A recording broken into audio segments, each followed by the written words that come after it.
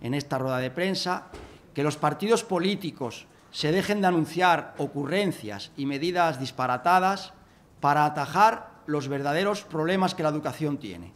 Y creo, y no creemos, sino sabemos que la convivencia es un problema grave en los centros educativos y que es intolerable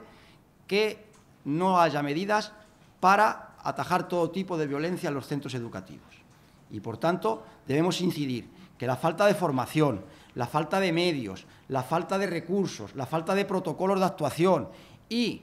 el intentar ocultar los problemas por, eh, por, por, cuestiones políticas no son soluciones. Las soluciones son atajarlo a partir de la opinión de los docentes. Por tanto, exigimos a los partidos políticos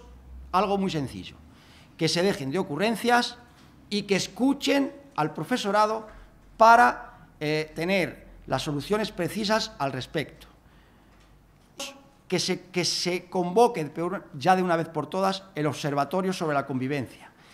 órgano que se creó para tener datos precisos al respecto y que, y que de forma sospechosa no se convoca durante varios años ya, lo cual nos muestra que a lo mejor los datos son peor de lo que a lo mejor sospechamos aquí.